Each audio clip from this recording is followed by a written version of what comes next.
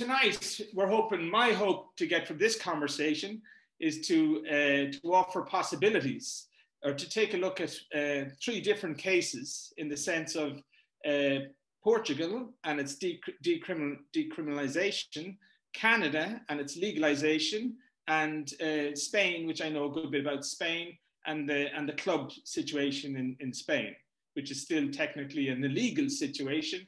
But uh, so we want to kind of get a, get pe- give people a flavor of uh, why, you know, why, how these different models worked, how they came about, how they, was there a transition period, and look at the pros and cons and the successes and failures of each model.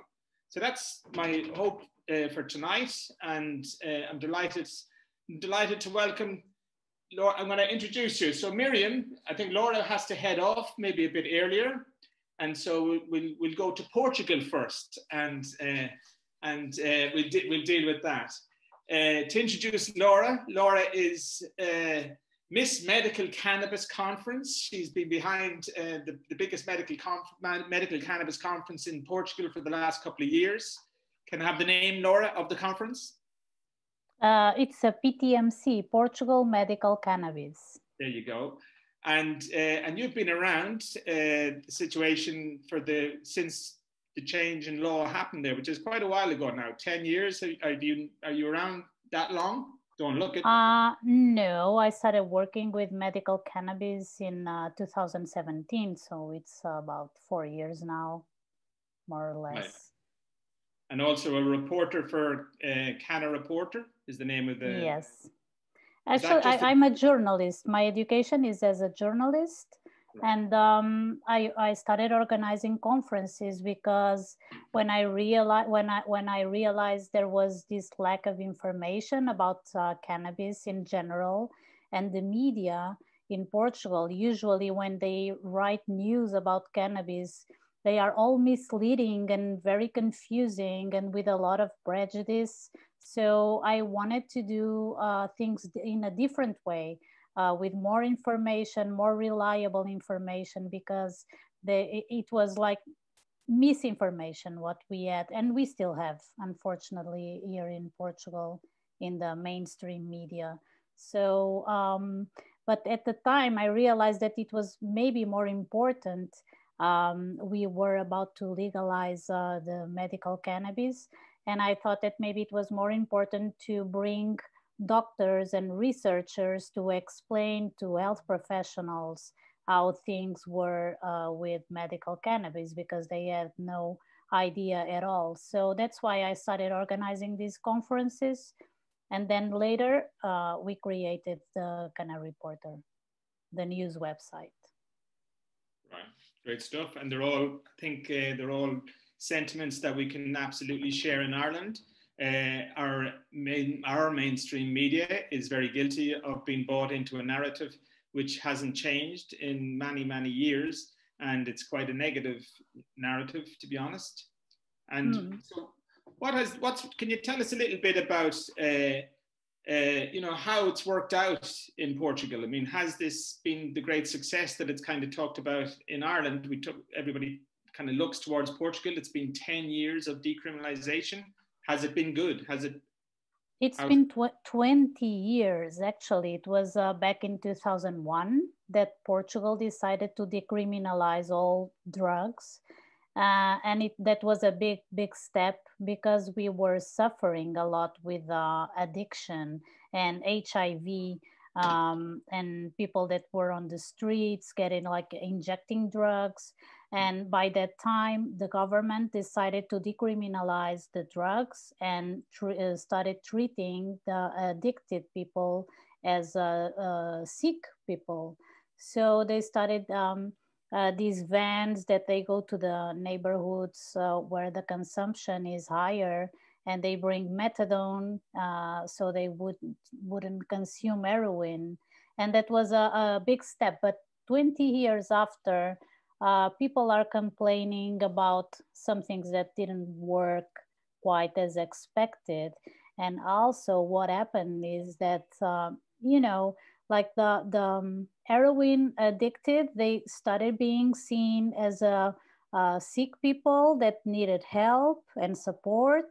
But the cannabis users, they are still uh, seen as like uh, drug addicts, which is a little bit of a paradox, you know, because we respect a lot these people that have problems with addiction. We have programs to support them. But when it concerns to cannabis users, we still have a lot of prejudice and that's a, a, little bit confusing for everyone that's why i think we still we are still not uh, evolving in the cannabis situation here in portugal because people they still think that cannabis is a very dangerous drug. And the same person that was responsible for the decriminalization is the same person that two weeks ago uh, when presenting the, the drug report to the government, he said that it's too soon to legalize cannabis in Portugal because uh, we need to be careful. It's a dangerous drug.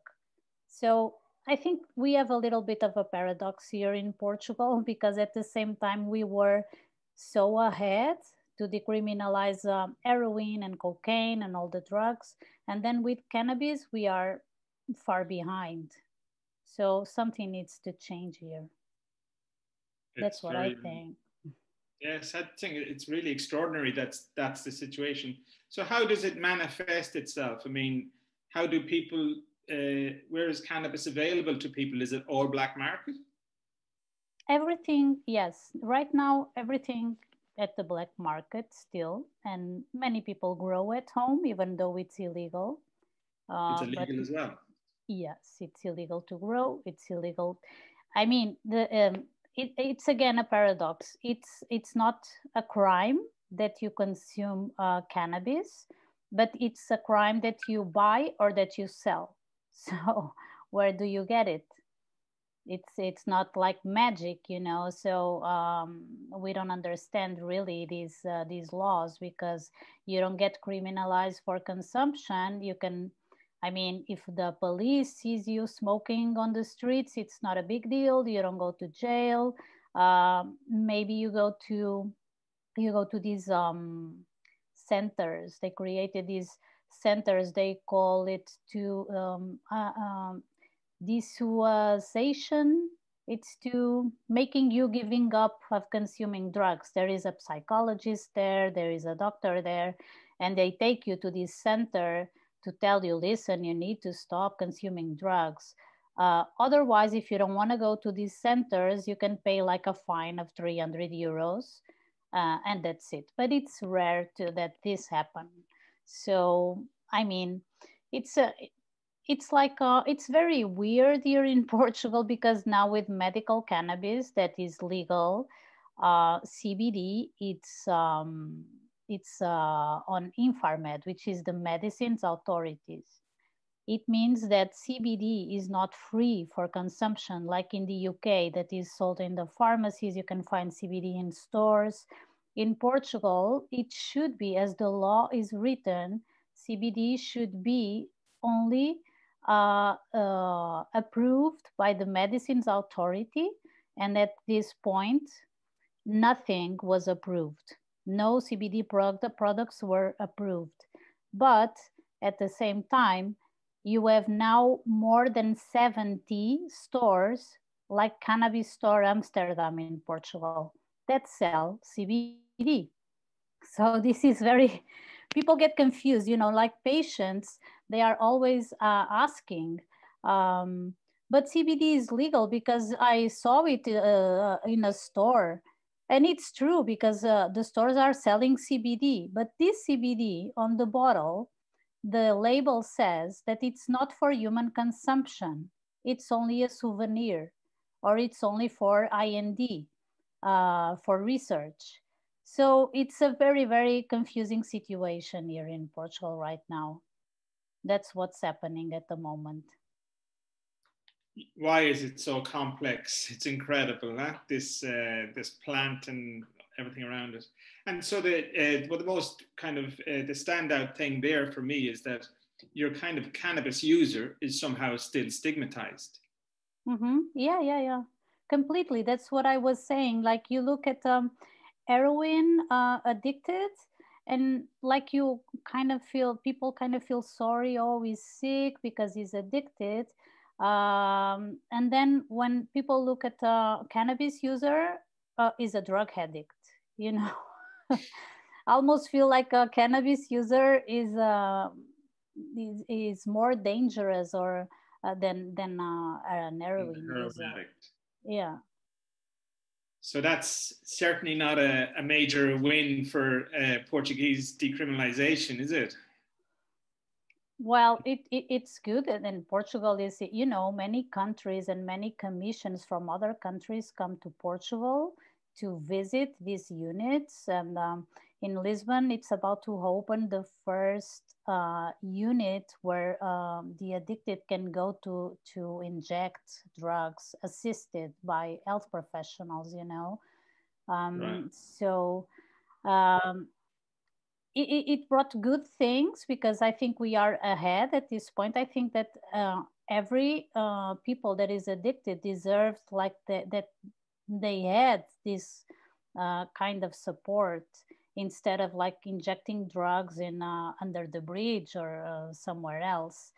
Um, but at the same time, they they feel that uh, this is not enough for them because at the same time they are they are getting like these pills like diazepam and these other drugs so they stay addicted the same they are not addicted to heroin but they are addicted to pills so I mean, uh, I'm not very, very inside this, uh, how this happened, but uh, I know it's something like this.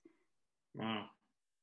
Yeah. So, and your, what would your impressions? You you know a good bit about uh, the different situations around Europe. What would be your feeling about uh, how does Portugal compare in terms of what's possible out there? Um, you mean for the legalization? Yeah, like you have, we have different situations within Europe. You know, I mean, next door in Spain, you mm-hmm. have mm-hmm. uh, you have the right to grow, and you have the clubs that are collective grows, and uh, so that's a kind of way that the that Spanish have have cheated. Uh, mm-hmm. not dealing have not, have decided not to deal with the complex issues of these laws that we're talking about and mm-hmm. they've kind of gone with uh, uh, what is a kind of uh, what they perceive as a kind of traditional, almost human right to grow the plant, mm-hmm. and and it's kind of born out of that. And uh, but again, in Spain, they have you know uh, lots of uh, complexities around the issue. So Portugal, where where do you think it will go next? Will it will you ever? Is it is it any movement to move in help to help out the recreational users and stuff like that? I'm, I'm not really sure uh, that we will have the same model as Spain with the social clubs because in Portugal, when you talk about social clubs, uh, uh, people think that it's like a, a, club where people go to consume drugs, and this is not very well seen. So people are a bit afraid of uh, of the situation. I don't think that we will have that uh, here in Portugal uh, maybe what I see now is that all these stores are opening these cannabis stores that sell CBD and uh, and these um, like products related to cannabis. I think that maybe, but not sure. Uh, it will be more like um, a Dutch model with uh, coffee shops or something like that. But anyway, I don't think this will happen after freezing. I'm still quite struck by the idea that um, that uh, society is not so much so so cannabis friendly when you're so close to. You froze for a second there, Laura. You're back with us. Okay. Yeah. yeah. but I was just saying that it's it's a surprise to me that uh, that there's uh, socially uh, there's not the, there's not so much love for the cannabis user. Mm-hmm is what I'm hearing. Yeah, I don't think. Yeah, I don't. I don't, I don't think that the government, um, even though it's uh, quite open, it's uh, a left government right now, uh, left center.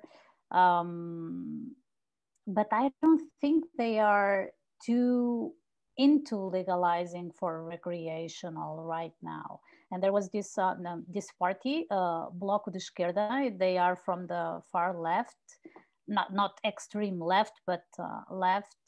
And they proposed, uh, they wanted to propose the legalization for recreative uh, purposes, and they presented it last year before the the pandemic started they made like an open public discussion about that. And usually when they do this discussion, it's because they are about to present the law, the, the law project to the parliament. But they didn't, and they didn't until today. So it's a little bit strange why didn't they present the, the project since they did the public discussion. So we are still waiting on this uh, law to come out. And what divides the, the, the parliament, it's the, the right to self-grow at home. Because um, this, uh, this uh, law project, it proposes the legalization with the right to grow at home at two until a number of uh, plants, you know. But all the other parties were against. They they the parties from the right some of them one, one of them the biggest one at least um, many of the deputies they agree with the legalization one deputy from the right they he actually uh, proposed a law um, not a law at the parliament but he presented inside the party a project to um, to legalize for adult use my kid is on Sorry. um, um, and uh, he was he was um, proposing to legalize for recreational purposes, but without the right to grow at home. Uh, so that's what's dividing uh, the deputies inside the parliament is that many of them agree to legalize uh, recreational cannabis, but not with uh, the right to grow at home. And the party from the left that wants to legalize it, uh, they don't want to uh, quit the right to self grow.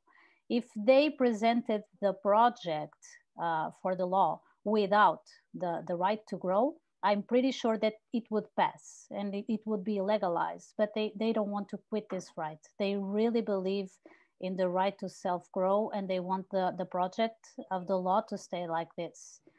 Uh, but they didn't present it yet, so nothing happened till today. We okay. don't know when when they will do it. Sorry for the uh, chat, Miriam. Miriam. Hey, Stephen.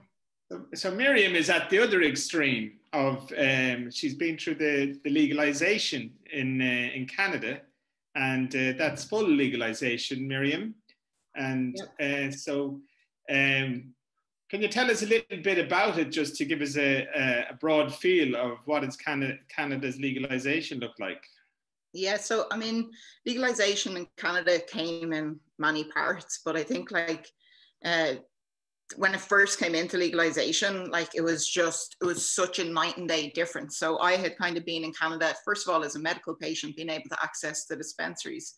But once everything went legal in Canada for the first year, first of all, overnight, all the local dispensaries got closed down. So what that led to is, you know, a lot of people would have built up relationship with a lot of store owners, like we have in Dublin, right? Like people go in and trust the information they're getting about CBD products overnight that's gone. But the second thing they done is that they only allowed flower and oil into the market. So you had all your RSO oil, your edibles gone. So for the real patients, right, suffering from real illnesses, it was like, holy shit, guys. And um, the third, not saying like it's legal in Canada, so that's all good. So I'm just maybe stuff we can learn to make it better if it ever comes in Ireland. So be, when they legalized it, every every single dispensary then had to get a legal license. So overnight, all the dispensaries got shut down. Now it was legal retail stores. What they done in Vancouver, unfortunately, is where I based out of Vancouver mainly. Uh, worked at a national level traveling, but mainly in Vancouver. Overnight, they only had one re- legal uh, retail store open in Vancouver. So you've gone from having hundreds of stores, right, in one store. Um, so that was a huge issue, kind of straight off the bat that they had. Um, but then the quality wasn't quite there either. So you had large scale grows coming into the equation, you know, like the company I worked for, right? Aurora had football fields of grow, but it's all been grown at very average or mids is what we would call it. So the quality wasn't there. Uh, the price had got jacked up and people couldn't visit their local store to get advice on what product they should use. So initially, you know, for the people who are actually consuming cannabis in Canada, it wasn't good. In the grand scale of things, it's brilliant that it's legalized, but like, you know, immediately that was the huge problem is that all these stores got closed overnight. Straight away, the only thing you could buy is flower and oil. So you lost your edibles, your concentrates. So people suffering with cancer, with serious MS, the list goes on didn't have access to their products. So they were still with the black market. And that's really who the biggest competitor was in Canada was the black market because cannabis is it's part it's part of the culture in Canada. So, you know, you can't you can't trick them on the quality, you can't trick them on the price. You know, your neighbor grows down the street. It's it's just it's really built into the culture.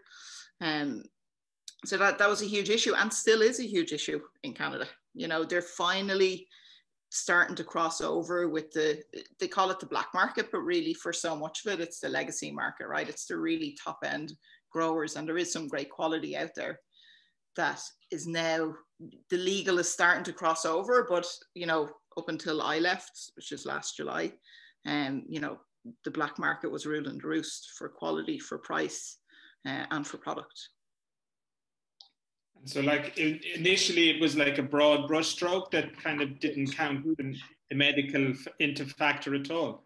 Right, and, and not only that, like then med- so then you separate. You had your legal retail stores, like you know, and like the Sesh store in Dublin, uh, the Hemp store.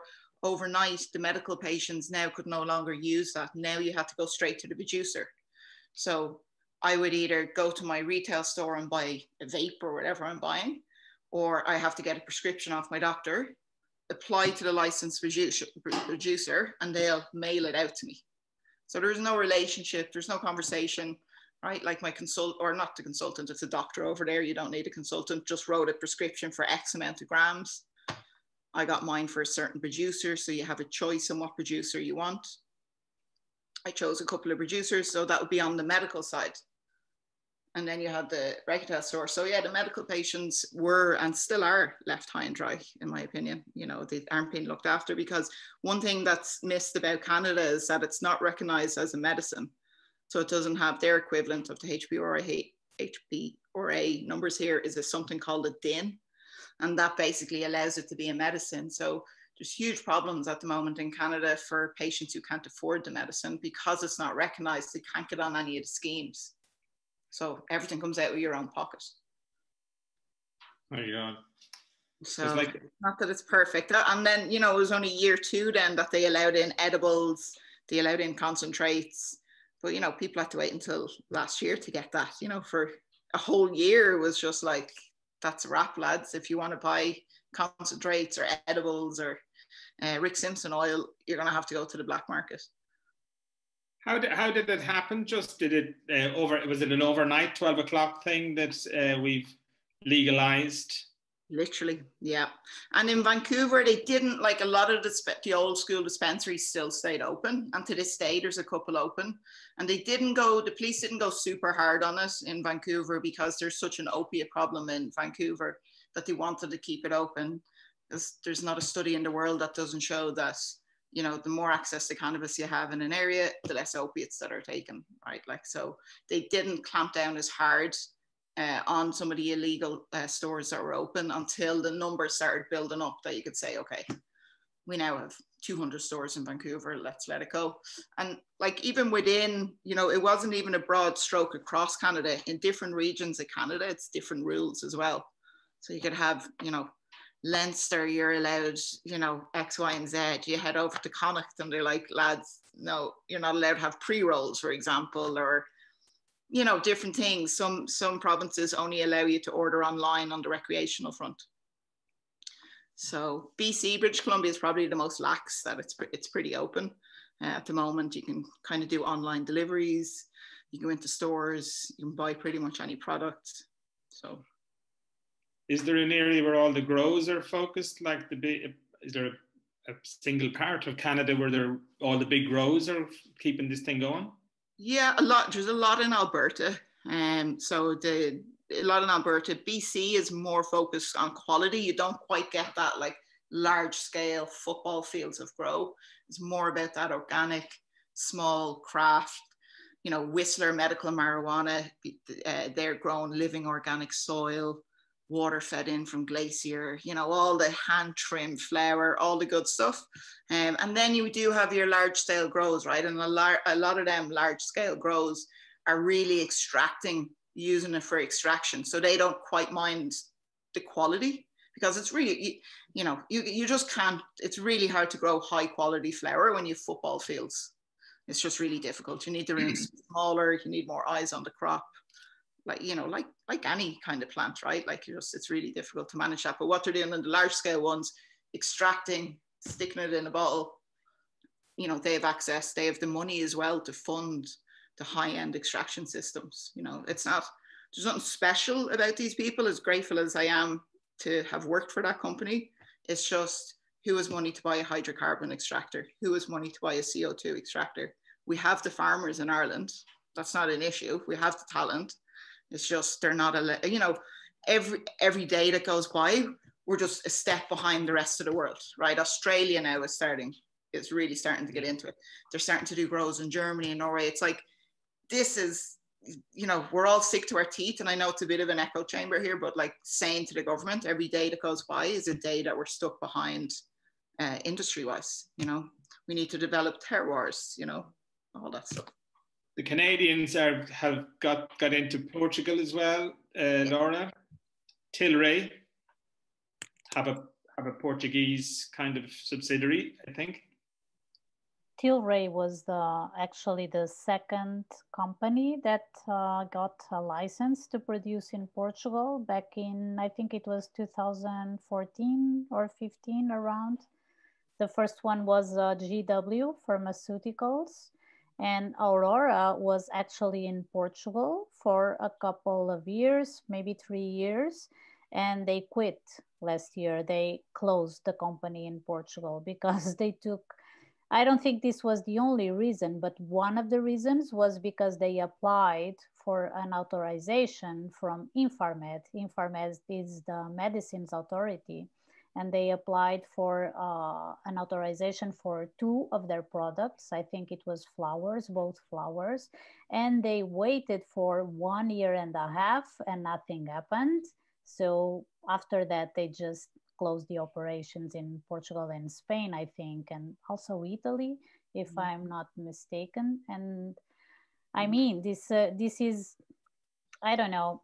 Tilray got just got two weeks ago the first license for uh, flowers for THC flowers with 18% of THC. And this is the first product approved in Portugal after Sativex. We had Sativex since 2013, um, and it was the only thing cannabis we had. And since two weeks ago, uh, the flowers from Tilray, and they are not available yet because the price is not yet defined. It's approved, but uh, they don't have the price yet. So will they, that, will they be sold locally, or will they are they for export? Tilray is, is exporting a lot from Portugal. They are actually importing from Uruguay and from, I think, from Canada as well, and then exporting to Germany and to other countries, Israel. Uh, but uh, they are selling absolutely nothing in Portugal yet. I think this is like the Spanish situation. Spanish has massive grows, but nothing is uh, nothing goes to Spanish patients. You know, nothing is uh, goes into the Spanish market. It's, it's the same here, and you know, it's um, it's frustrating for patients because they they do complain a lot because they um, you know in the social media uh, when whenever we publish articles or news they say they always say well, these big companies uh, came to Portugal to produce and export, and for us patients, uh, nothing stays here in Portugal, and we are not allowed to grow. So they feel a lot of frustration, especially when they are moms with kids that are uh, suffering or people that are really sick. Um, and they, they feel like abandoned from the, the government because uh, they authorize all these companies. I think at the moment in Portugal, 10 companies got the full license to grow and to uh, import, export, everything. But uh, the pre license, I think I, we, we don't have numbers. Um, I don't have numbers because they never answer these questions, but uh, we believe that more than 30 companies already have pre licenses to start, you know, building the facilities and all that. So a lot, there's a lot of interest to grow cannabis in Portugal for sure. Mm. Yeah. So, uh, Miriam. Yeah, it, like it's it's a my my biggest worry. Like I, I my biggest worry is that we push really hard for medical, which of course I have a license, a medical, but my big worry is that they go, okay, we're going to do medical, we're going to allow Tilray, Aurora, Bedrocan in, and we're going to do one huge grow like they do in Holland, and that's a wrap, you know. And that could just be the worst thing to happen uh, in Ireland. Like when I think of even cannabis tourism, and that's why it's full legalization is what we need because we need them local terroirs, we need them local grows, and of course we need the medical. But allow an Aurora, Tilray, or whoever else that wants to come in and create, you know, create cannabis as a medicine you know, and create that exact dosing, that that cannabis that doesn't have the allergens, that cannabis that is focused on a certain type of illness. You know, that's that's going to be there regardless. It's not like legalization is going to take away from that because they're all chasing the European social care, right? Like they know it's not like Canada where you can't afford it, you're not getting the medicine. You know, you come to Ireland, you're going to probably get a refund when it goes when they bring out the medical access program, and that's what a lot of them are chasing. It's the shareholders they have to try and make money. Whereas if we can get and hold out for the legalization, it can create multiple small grows like the Whistlers of the world, you know, and there's hundreds of other micro grows, you know, a micro license that would allow mm-hmm. Ireland to get a mm-hmm. grip on this industry from not only grows, but if you think of like the other companies that will come out of it, like in nurseries, maybe there's companies in Ireland that just create cool genetics that we sell over to California, you know, so there's a nursery, then there's, you know, the flowering and the growing stage, and that's the producers, but then also companies that focus on extraction. And maybe we're the leaders in the world for extracting. So if we, you know, it's all that that comes into the conversation as well, and why, you know, the push for full legalization is so important that allows allows Ireland to be part really full legal that that allows for all of that. And that right to grow as well, you know. Yeah. Um, and and you know it's it's what this you know would have been based on prohibition as well like it's that it's nearly standing up and saying you know I'm in my late 30s lads. Like I'm not the idea that the government is telling me I can't smoke flower or I can't grow is off the wall you know? Just, I think it's mad like. I've been for so long. Yeah. yeah we are touching the fundamental rights right there you know because yeah. it's a human right to grow to grow whatever you want whatever you need mm-hmm. and in, in portugal on the on our constitution uh, we have an article that says that uh, we have the right uh, to uh, protect our own health and to decide about our own health. There you go. So I think it's even uh, um, unconstitutional that you forbid to grow this plant at home. So the thing is that in Portugal, there are not many movements or many people pushing uh, to, to get the full legalization. You know, because people are still afraid to admit that they, they consume or they grow at home because they, they, they fear that the police will go there and they will arrest them because you know all the time you have these news on the on the media that says the police um, uh, caught this man that was growing cannabis at home. And you see the, the, um, the pictures they published with the news, and it was three plants, three plants from an old man that was uh, 70 years old. So for sure, it was like making tea or uh, something for his pain, whatever. Self you know, self-medicating without a doubt. Yeah, so that's uh, very frustrating to see that this still happens uh, in Portugal. And Miriam, you were talking about the uh, um, local investment and uh, small producers. For medical cannabis in Portugal, it will be impossible because you need millions to invest on a medical cannabis company. But uh, we have small investors in hemp and they want to produce CBD, but they are not allowed. Uh, and what happened is that in the last three years, there is a confusion around hemp that until three or four years ago, we had like uh, uh, funds from the European community to grow hemp and to invest on hemp to produce fibers and all these things. And after they legalized medical cannabis, I don't know why, but for some reason this happened. Um, the hemp growers started to be like um, uh, the, police would go to their farms and destroy all the plantation. And this still happens last year, happened to a lot of farmers.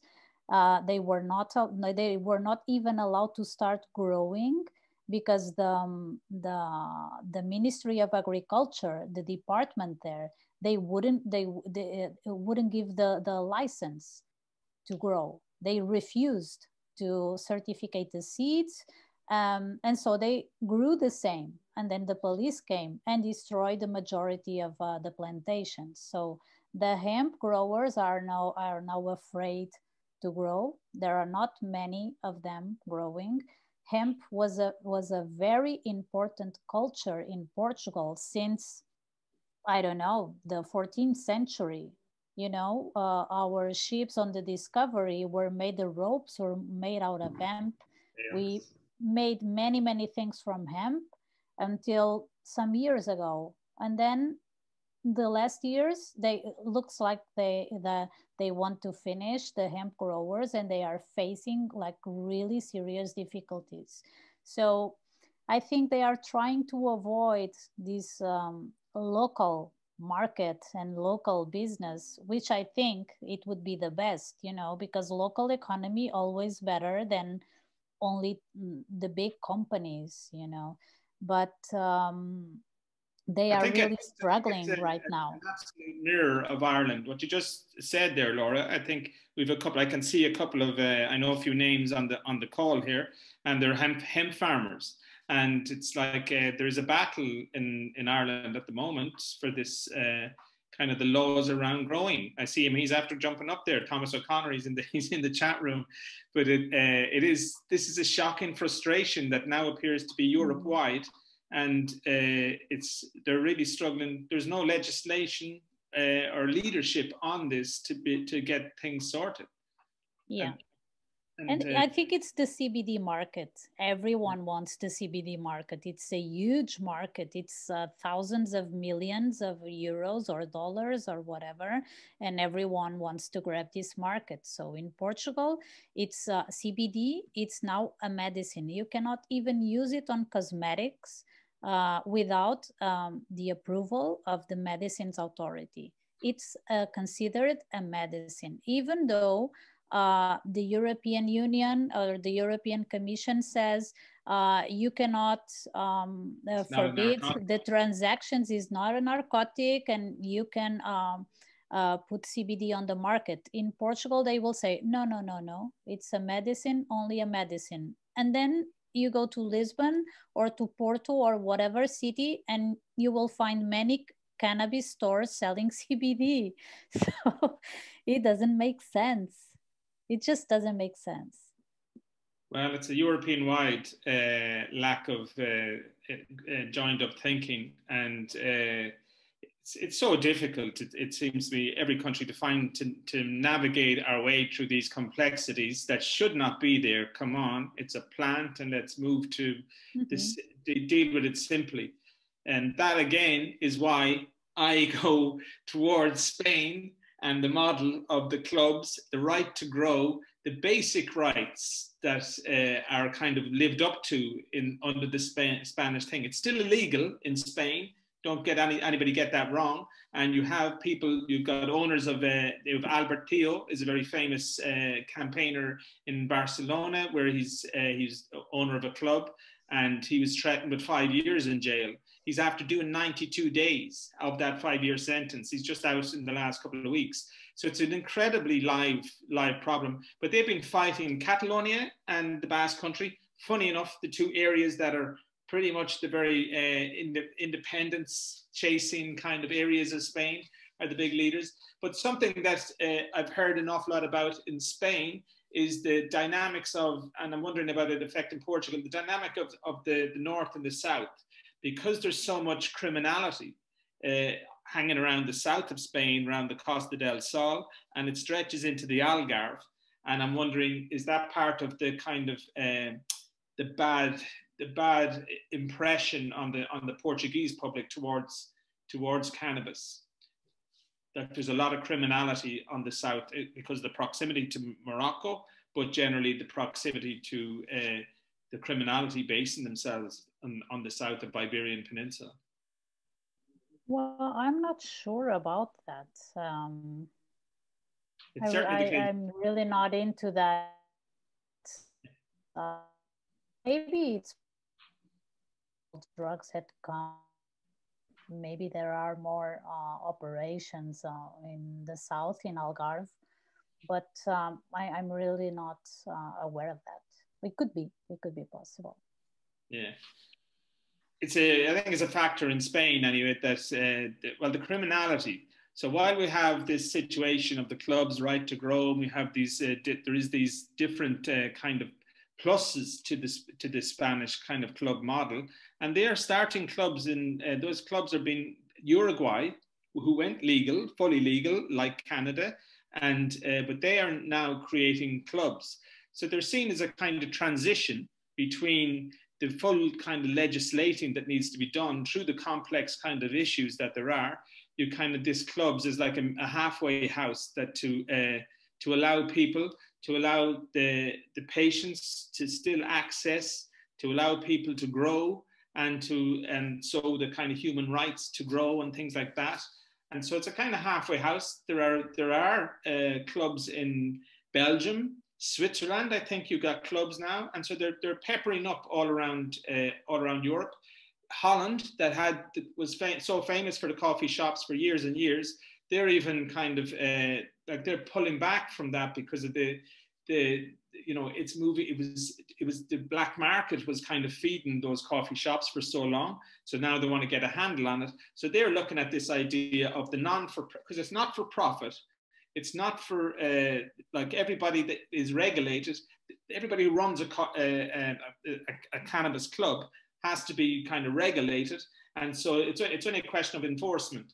The idea is you you're only served enough uh, enough cannabis to consume inside the club. Once you go out, you, it's illegal.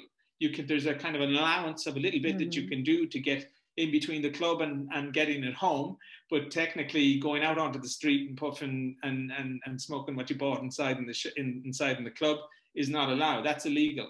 And uh, so the it, the kind of fundamentals of the cannabis uh, clubs in Spain, the fundamentals of the allowing allowing people, giving people access to the right to grow, giving people access to op- uh, come together as an association and operate like that I think it's, it's for me, it's still, uh, it's while it's a halfway house in Ireland, our legislators, you know, I think it'll take them so long to, to navigate their way through the kind of complexities of legalization.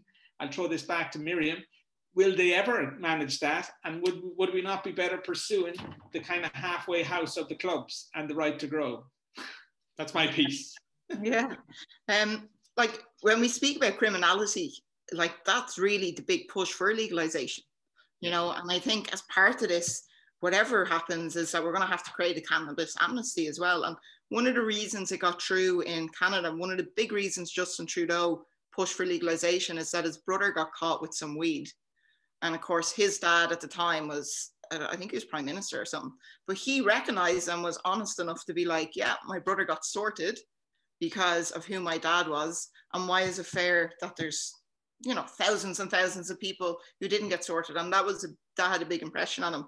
And I think like, you know, little steps we can take is, you know, we know Simon Donnelly, for example, has consumed cannabis. Well, why is it one reel for him and a different reel for us? You know, why? So it's touch and base as well and pushing that and, you know, questioning our TDs and questioning our local councillors and saying, well, we need the same rules for everybody here and the opportunities that are being missed by people having a criminal conviction. And I know for me, my I wouldn't have been able to go to Canada. It's huge. Like if I had a criminal conviction, my life changes forever you know, and why am I why am I able to travel? I consume cannabis illegally, you know, back in the day, and other people are caught and the destruction it's having. And it's really educating and showing people that the problems cannabis is having with prohibition, right? Like, but do I think we'll get there? Yeah, I do. I really do. I think it's coming. Do you, you like know? the idea of the clubs? I do. I like it as part as part of it, right? Like I like it as part of the community social club, right? Because we are also going to need the Budweisers or the Auroras of the world to create the medicine with the exactos, yeah. but then we need the social clubs for education, for local quality, mm-hmm. for local business. You know, so they're vital part uh, of cannabis going legal in Ireland because we'll all need to mind it and make sure that you know our friend, we're not handing our friend you know a joint a full joint for his first time or her first time you know like we everybody on this call is kind of like an ambassador you know whether like it or not. So it's up to us uh, you know i've seen some chat about coming out of the closet. Like coming out of the closet is also minding your friends when you introduce them to cannabis. It's being that person at the dinner table that discusses it with your family. You know you having a discussion with four or five people over a six month period versus sharing a post is huge you know and they're just little steps kind of that we can do to continue to build. You know, one of the one of the theories behind the clubs is that uh, everybody is on an invite, so it's mm. only for it, they're designed for cannabis users. So when, yeah. when you take it as what it is and forget about, look, they do get abused and there will be laundering and there will be different things that run through them and uh, criminality will kind of eschew the, but the foundations of the model are, uh, are essentially good. They're designed that uh, people can only you only consume uh, a level in because you're you're supposed to only consume on the thing. When you when you're outside you you the, the cannabis that's grown for that club doesn't go into the black market out, outside the doors. And uh, you basically if you're a young guy you can only consume what you can buy inside which is kind of controlled. And uh, and it's all got the same kind of quality controls and things that you have with I would imagine, inside uh, in Canada, in, in your dispensaries in Canada.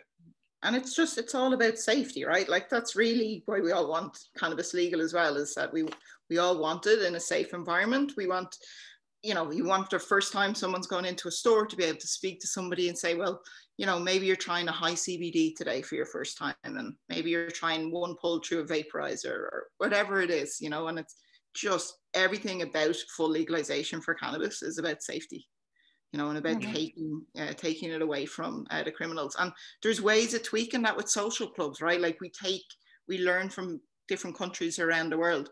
I'm not saying Canada is the way to go, but they do a 30 year history if you want to open a store. You know, maybe we go similar to how we do it with the pubs here, that the guards would sign off that that person is in good standing. Because there's issues in Canada with uh, the biker gangs. So they all tried to get into it too. And there's areas we couldn't go into as reps. Um, so that's you know that's a thing as well, and that's going to be a big thing. this is the regulating of the thing. So the regulating mm-hmm. is something that kind of comes with anything. You mm-hmm. know, you're kind of you you create the laws and you create the the set the, the law enforcement of the laws around the regulations. So yeah, um, yeah I think and everybody somehow is, gets protected.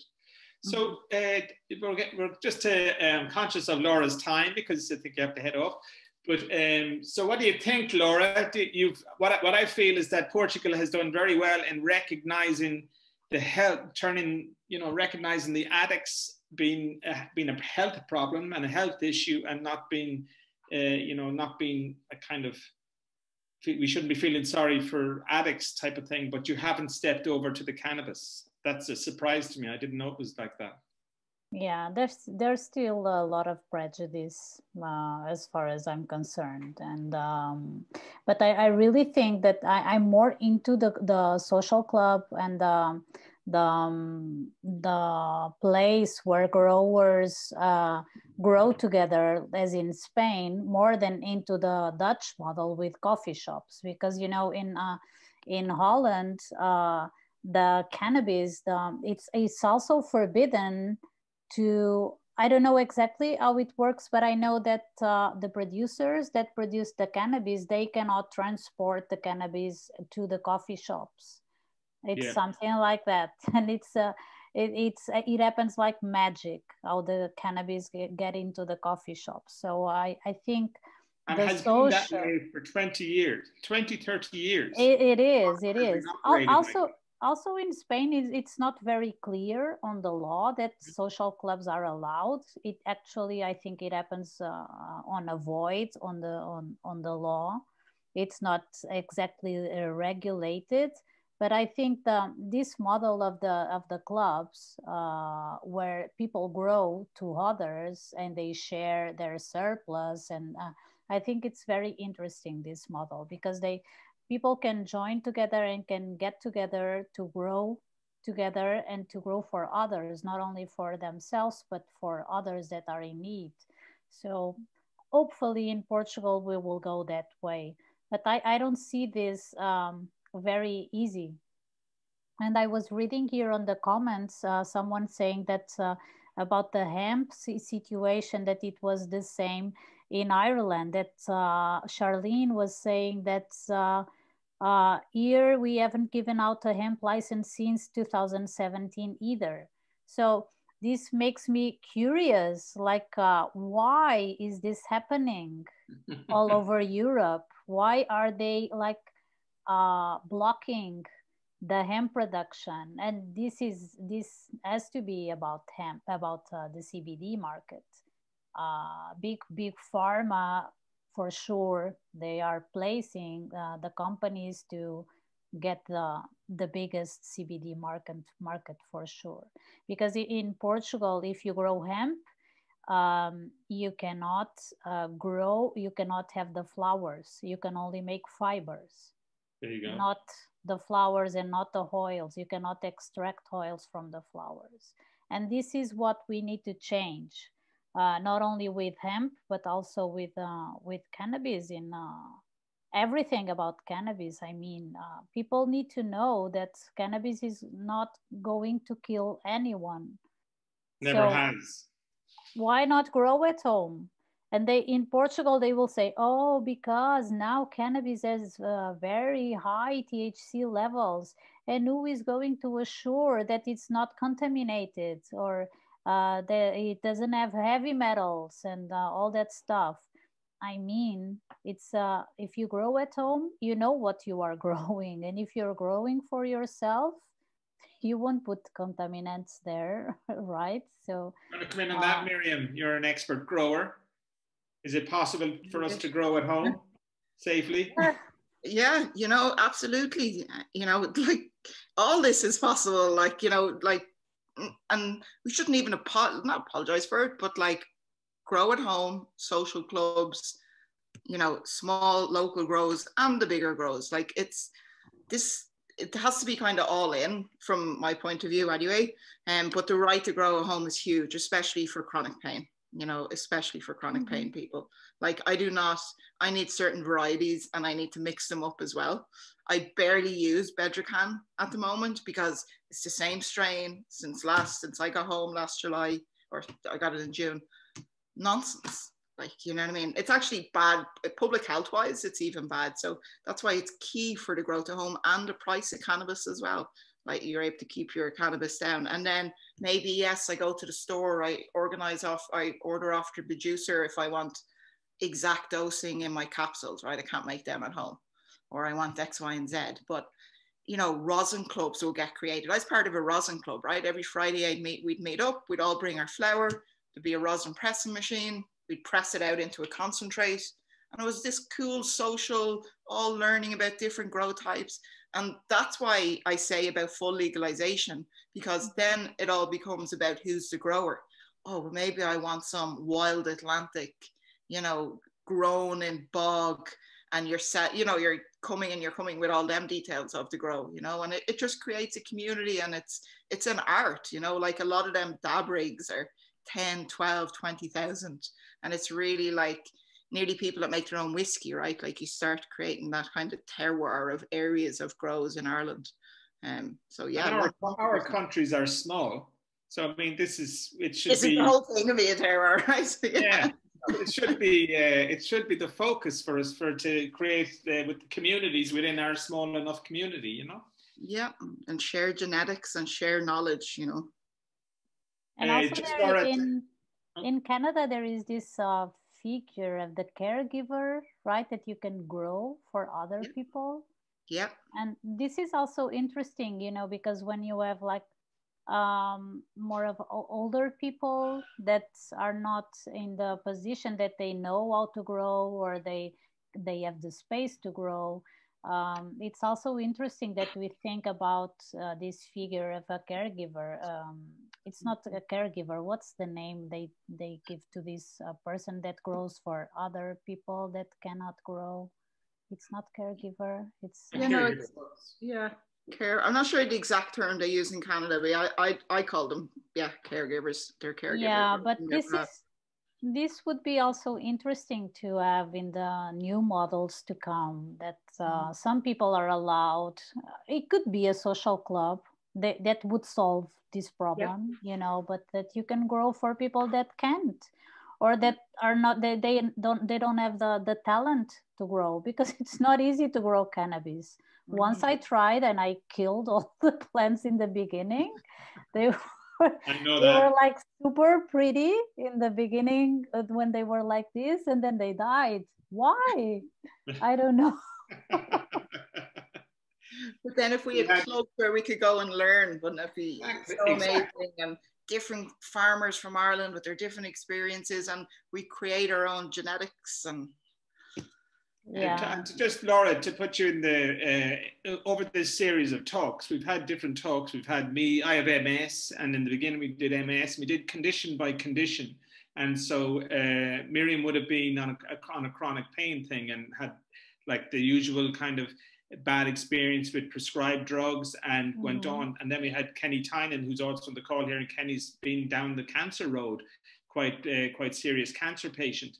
And so, but like um, what for me it's um, that uh, what we had along the way was we had uh, we had a remarkable two remarkable mothers of epileptic children, pediatric uh, epilepsy, and you know they like uh, Vera Twomey kind of would turn around. She said, "They said, look, I don't I don't want to ever have to grow anything, you know, and that's and that's what she needs." for her kids she needs the kind of farmer the exact kind mm-hmm. of there's so there's a place for everything for uh, for all, every condition can be serviced it, it, all the endocannabinoid systems are there to be tweaked and to be triggered by different cannabinoids and we only get to that situation when we have a an open kind of conversation where it's not it removes prohibition out of the way that's my opinion and but vera yeah. certainly uh, you know emphasized that point that you know, I couldn't care less about the right to about the right to grow really because I want my kid to get her medicine, and that's fair enough. Sure. So, so it is a bit. It's a it's a very broad issue. How will we go, Linda? We'll have a look at the and to the, let the the girls. Have, do we have questions in our chat? Let's say that we could put to the girls we have we only have a couple of questions which i'll get to but it, it, there's been interesting conversations going on in the chat and there's a common theme there's three common themes like everybody's just in awe of what the girls are saying like we could listen to you all, all night because you're such a fountain of knowledge and we've so much to learn. The three common things that are coming through on the comments are we want small local protect, protection um, our small local production. We want to protect our indigenous businesses and growers we want the right to grow. That's the biggest thing. We want the right to grow, the right to grow. And of course, Martin's call for civil disobedience. It's always there. Um, Martin. two questions. They both came from Ashling, and the first one was um, towards the start of your talk, um, Laura. Um, somebody was wondering, Ashling was wondering, do they give heroin to heroin addicts when they are being treated? I presume that's opposed to here, you would give methadone instead of heroin. Yeah, I saw this one. I, I, I don't think I can reply. So I, uh, the, and then there were so many questions I couldn't uh, uh, write while mm-hmm. I talk. While I talk, so um, I don't think so. I think that they give uh, methadone instead of heroin, so they will quit heroin uh, to uh, continue on methadone. But what they what they are giving as well is like benzodiazepines uh, like uh, to for the anxiety they get of the withdrawal of heroin um, and then they get addicted to all these uh, other substances like these opioids and uh, benzodiazepines which is not good. Um, so i don't know what's worse really Yeah, that, that's interesting because I think in Ireland, like you just get people who are just addicted to government provided methadone as opposed to helped with their actual addiction. And I always thought it would be better in Portugal, but obviously not. Mm. Um, okay, and the other question we had was from Miriam, and it was actually again asking Is it easier to get licenses in Canada now? I think that's in reference to trying to get a license to have your own um, dispensary. Uh, so maybe she can clarify. So to get a medical license, yes, super easy. You know. Uh, no, like you were saying, when they legalized the next morning, all the CBD shops had closed and they had to uh, apply for oh. licenses to have their shop or whatever is it? And did they open that up? Yeah, so it's it is still really difficult. It's not an easy thing to get a license. Um, and to give you an idea, like even with Vancouver, how difficult it is to get in the general council license. So if you open a store, the council normally charge any retail store because it's retail now, uh, three thousand uh, Canadian dollars. If you own a cannabis store, before you open your doors, you got to pay the council thirty grand. Plus, they do a serious background check. Like it's, I think it's as far as I know, it's thirty years background check and then a twenty-five year financial check on top of that as well. So the barriers are up to get in. Um, we're starting to see some of the legacy, and the legacy be what were some of the older stores that were open uh, before legalization. So some of the OG stores, people that you know really their local store, they're starting to get back in, but huge barriers financially to get in, and that's one thing we would need to look at is to lower them barriers so that it's easier for Irish companies to get in because you legalize in Ireland, you'll have all this money flowing in, and it will be just like any other commodity, you know, there'd be a rake of Circle K cannabis stores, right? Like they'll have the money to come in. Um, so that would be a big thing that we need to ensure that we don't have them huge barriers and um, that, you know, the, the right people are opening the stores too. And that's important for education and how cannabis is given long term. So we want the right educators and the right people in it. If that answers this. Okay, that's all we had in the um, in the chat. Thanks very much. They were all our questions, as I say, and there's lots of conversation going on there about um, the hemp licenses, but uh, maybe that's something we can touch on another time. We have a couple of farmers, Laura, in the in the in the chat. I've seen. Uh, so look, at I want to just. I my uh, total support for them, you know, because here in Portugal, Portugal they struggle a lot. Yeah. They they used to go to Infarmed, to this medicines authority, to ask can we grow hemp? And they would say, oh, it's not with us. You need to go to the Ministry of Agriculture. And they would go to the Ministry of Agriculture and say, oh, it's not with us, it's with Infarmed. So they are they would feel like a ping pong ball going from one place to another and getting no answers at all from and they would come like from the north uh, on a purpose to lisbon just to solve these uh, issues and they would go back with no answer no answers so um, I think this is uh, outrageous. This shouldn't happen, never, because uh, there's a, such a potential on hemp to do anything like from bioplastics to fibers to cosmetics to oils to medicines to whatever. You can do so many things from hempcrete uh, to build natural building. Uh, so why are we blocking this culture? And then you you see the police um, that goes after these little farmers. And there, there was the, this, this uh, guy was growing a big, big plantation of hemp. He had like, I think it was um, 30,000 plants or something like that. Uh, and the police went there and destroyed everything. And on the news, uh, they uh, the police was very uh, happy because they found the second biggest cannabis illegal illegal plantation of Europe. It was the second biggest of Europe. In Portugal, uh, you know, we like to be the biggest in uh, everything because we are small. Except the Eurovision. And then uh, the police they cannot tell the difference from from hemp and cannabis and it's so stupid that they were saying it was the second biggest cannabis plantation and it was hemp it was not cannabis and, and then at the same time like two weeks after there was a robbery uh, with guns in a hemp plantation but since they had security and it was like this big assault uh, they put it on the news. There was this robbery on a medical cannabis plantation, and it was not medical cannabis, it was hemp. So they are always making this confusion with hemp and cannabis. They cannot tell the difference. So, I, I mean, I think we need also to educate uh, not only journalists, uh, but also uh, police, uh, the, the police people, because I mean, they they need a lot of education. Well, it's a good uh, it's a good way to wrap the conversation just to, and tell people exactly about your. People can read about read you in e, what is it? The Canna Reporter. Uh, it's cannareporter.eu uh, and uh, it's in the original language. It's in uh, Portuguese, but we have a very nice plugin that translates into English. It's an automatic translation, but it's quite accurate. It's uh, not bad at all.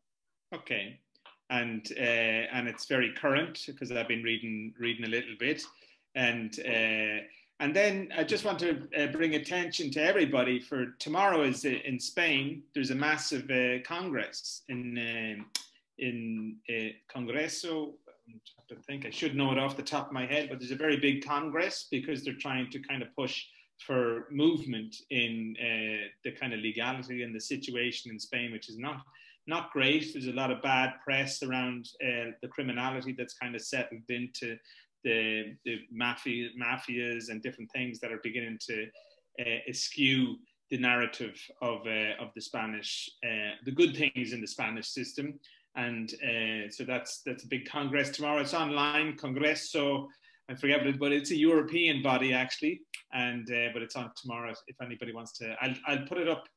I'll put it up in a tweet or something afterwards. Yeah, and uh, Miriam, what's you? Have you got any plans that we'll tell the people about?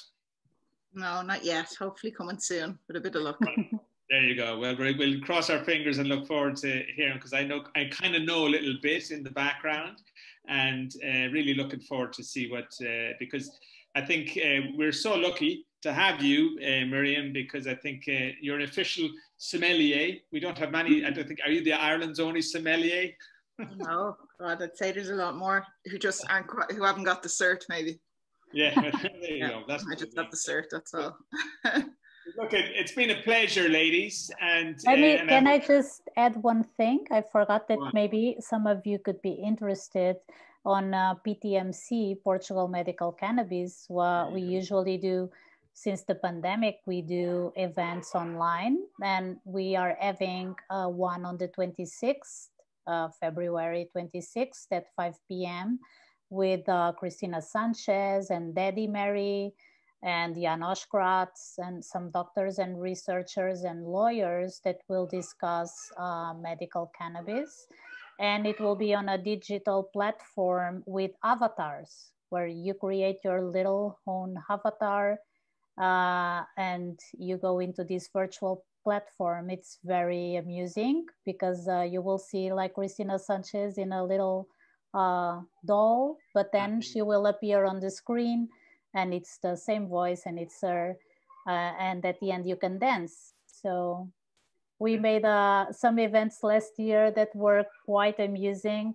So if you want to join us it will be on uh, february the 26th i'll post all this stuff out on my social media and uh, and uh, you know let's be but to, on a positive note laura do you see can we be positive? Will we see change Oh, sure, for sure. We need to stay positive. I mean, so many bad things happening already. We need to focus and stay positive and uh, believe in uh, and defend our rights. Yeah. And that's what I will do. I will uh, stand by the, uh, at least from the, the patient's rights, because the, I see that are the people that suffer the most because they are already sick or their kids are sick and they really need support and they really need someone to stand for them and to uh, support them achieving all these uh, goals. So if i will do something in the future is to bring more information and to break this stigma and this prejudice and that people get more education more knowledge so all these people can get their medicines as soon as possible. We need a good honest press like you in ireland i think. It's something that we're uh, we're absolutely like lacking is uh, no, but I think it's vital. You know, press is uh, is still a vital cog in this uh, in the in this movement, and uh, mm-hmm. so we gotta we gotta get stuck into our Irish press representatives to step up to the plate because I, I can see what you're doing down uh, down there for the patients and creating the conferences and all of that. And it's all great. You're looking at two patients here, by the way, Laura. You know, so uh, this is and we're all here you know, to try and, uh, uh, you know, progress uh, our lives and by reflection, everybody that we know. And uh, so thank you. I'm going to, ta- I'm going to wrap it up, guys. And uh, Laura, thanks for staying with us so long as well. You told thank me you, you. and I can hear your kids. Thank you so much for the invitation.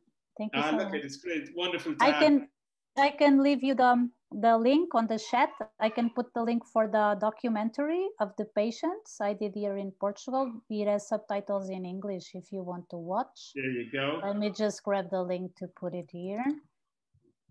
And if people stay on the chat there for a little little while longer, I'm going to put up the um, I'm going to put up that that big massive Spanish con- it's at Congress, but it's in um, I can't can I do that? Kind of course, and it's in, uh, but it's in Spanish, which I'm sure you can handle, uh, Laura. It's the observant. This is a, but this is a, a European of European Congreso. It's in. It'll be. I don't know how Spanish, how much in Spanish it's going to be. There's some kind of English speakers and things like that. The full lineup is there, but it's going to be very interesting. And uh, in Spain, there's a bit of a. Uh, there's a real feel that it's time to sort out this but we got problems here, man. They're they're they're jailing they're jailing rappers in Spain for uh, calling them terrorists for uh, rapping about rapping about a corrupt crown that that that goes to Africa to shoot elephants. And uh, oh so there's God. a long way to go in all our politics. My God. yeah. Just need to dose them all with edibles. Yeah. Good night, guys, and thanks thanks a lot. Thank you so much, Laura, uh, and uh, we'll let you, back, let you back to your life. Thank you. Cheers, Go back Miriam. to the kids. Yeah, Feed the kids. yeah, okay, we can hear them in the background there. So, obrigado. Thank you, uh, Linda, the lovely Linda, for looking after the chat room and uh, and keeping my back, my back. so thank you so much, Linda, and look, we'll see you all again next week when we when we deal with Irish uh, legislation, where we've got two two of our legal eagles and uh, who are direct camp who got a direct looking at the campaign uh, via their PhDs. And uh, and we need them now, and because Ireland has this mad situation with Little Collins and uh, and these and this thing of getting people, seasoned people, I think I'm going to leave you with the last thing, Laura. There's a very famous. I don't know if you know Blind Boy this uh, no. guy from the Rubberbandits. He's got one of the uh, one of the biggest kind of podcasts in the world at this stage. And, Blind uh, Boy. Blind Boy. He wears a he wears okay. a plastic bag on his head, but he came out with the most uh, the, the kind of the one sentence that framed it all was it's uh, the police going into the Little Collins uh, CBD shop was like the cops going into a bar and and seizing all the Heineken Zero. So all the alcohol-free beer, you know, that's the same it's the same uh, exact same narrative. It's shocking. So we, are going to be following up, and that's what we're doing next week with uh, two of our own Irish legal eagles. so nice. I will try to join you. Yeah, look, it'll be good. Thanks a lot again for coming. I'm going to stop thanking, and I'm going to disappear. Thank you, Miriam, as well. Thanks, Thank Laura. you, Linda. Bye. Thank you, Stephen. Bye-bye. Bye, Hall. Bye.